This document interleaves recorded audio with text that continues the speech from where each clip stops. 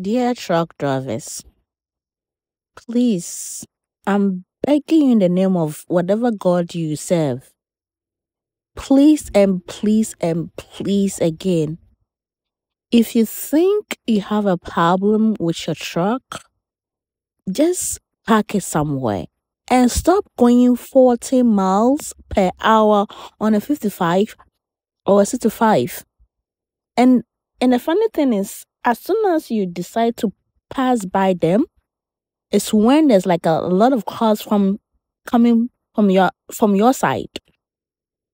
Ah, like why? Why do you have to drive like 40, 45 on a 55 or 65 miles per hour highway? If you know you can drive or you know maybe you have a problem with your truck or you, you are too tired, please park. That's why you guys have a, a whole resting area designated for you. Or do you guys also want another designated um, lane for you guys so you can be on that lane so and you not bother us? Like, why? Oh well. Oh well.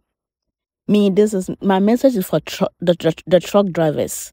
Please, please and please again. If you know you have a problem with your truck, or you're feeling sleepy, or any something's wrong with the truck, please park somewhere and stop driving like 40, 45 miles per hour on a 65 or 55. Plus, some of us are in a hurry. We can like we can go.